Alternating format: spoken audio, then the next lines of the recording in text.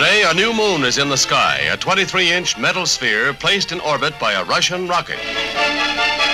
The reaction was one of astonishment and concern, for it was now known that a potential enemy was at least temporarily ahead in developing means for space travel.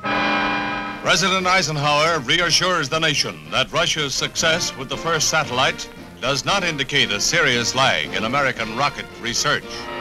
The morning of November 8, 1957, at Huntsville, Alabama. A sudden meeting has been called by General John B. Medaris, commanding general of the Army Ballistic Missile Agency. I promised the Secretary of the Army that we would be ready in 90 days or less. All at once, Americans were interested in the oncoming age of space. And with the curiosity came a mounting, swelling demand to get a satellite into the air on the double. But there were disappointments. Another setback for the United States, a loss of thrust and fall back to Earth in split second.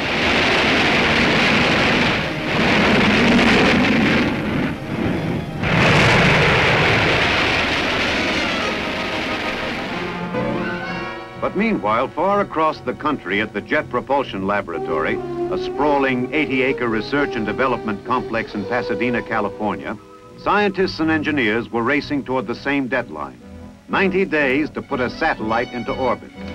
The Army is requesting the Jet Propulsion Laboratory to provide the following programs.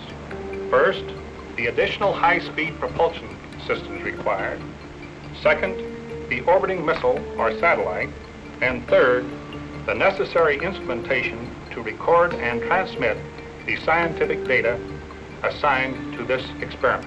This assembly, which is the actual payload for the satellite, contains both transmitters, the necessary circuits for the impact microphone, which will detect the collisions with meteorite particles, and a Geiger counter to measure cosmic ray intensity. At Cape Canaveral, Florida, the Army's Jupiter C rocket is ready for America's second attempt to launch a space satellite. The hours-long countdown approaches zero, a moment of enormous tension, for every missile launching is still an experiment. Any one of tens of thousands of things can go wrong, with catastrophic results. But all that can be done to assure perfection has been done. The moment is at hand. The countdown reaches zero.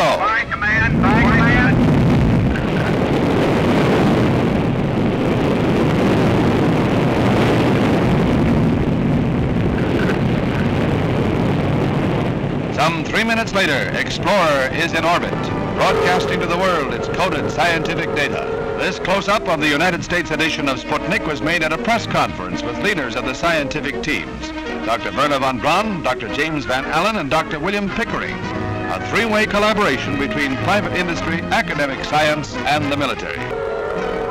Cosmic ray intensity, meteor impact, solar radiation. These are the dry facts that will help carry man ever farther into the age of space.